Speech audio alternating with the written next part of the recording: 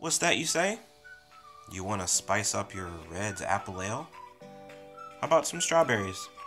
Just cut a couple up, slice them down the middle, pop them in there, and then simply garnish with a strawberry. And then